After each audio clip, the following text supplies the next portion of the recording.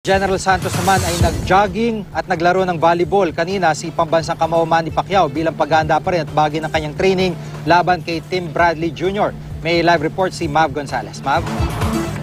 Jiggy, nag-jogging nga kanina si People's Champ Manny Pacquiao sa Acharon Sports Complex dito sa General Santos City. Mataas na ang araw ng tumakbo si Pacman bandang alas 7 ng umaga. Maganda raw ito para sa endurance at stamina niya. Kasama niyang tumakbo ang ilang kalaro niyang basketball players pero pagkatapos ng anim na round, iniwanan na niya ang mga ito at ang alagang aso na si Pacman na lang ang nakasabay niya sa track oval. Nakisali pa sa larong volleyball si Manny kasama ang kapatid na si Wapi Pacquiao. Pagkatapos ng kanyang morning exercise, nagkaroon ako ng pagkakataon na makasabay si Manny na mag-almusal. Heavy breakfast ito. Ang kanyang ulam, karting baka, pritong isda at ang paborito niyang tinola na native chicken.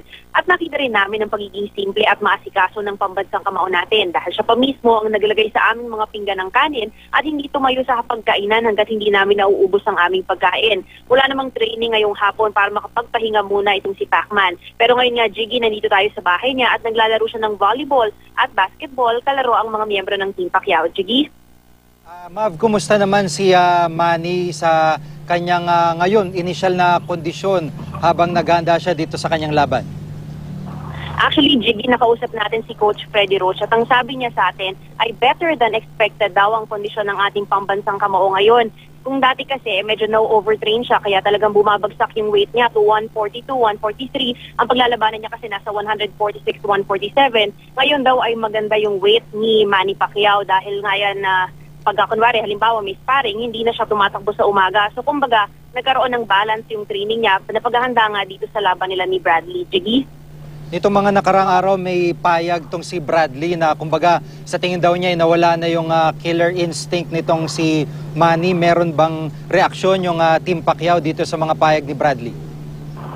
Actually, Jiggy, si Manny naman, no, kagaya ng mga nakakaraang laban niya, ayaw niya na sumasagot sa mga ganyang statements ng mga opponents niya. Pero ang sabi niya sa atin, isa nga dun sa mga talagang pinag-aaralan nila ni Coach Freddy Rocha training ay yung killer instinct. At bukod pa dyan, yung speed dahil alam naman natin na mabilis sa loob ng ring itong si Timothy Bradley. Sa ngayon naman, Jiggy, sa nakikita natin sa training, talagang nandoon pa rin. Yun nga ang lakas ng suntok, nandoon pa rin yung presence of mind ng ating pambansa kamao sa ring at naniniwala tayo na as time passes by, habang napapalapit yung laban niya sa Abril, ay mas gaganda pa ang kondisyon niya, Jiggy. Maraming salamat, Mav Gonzalez.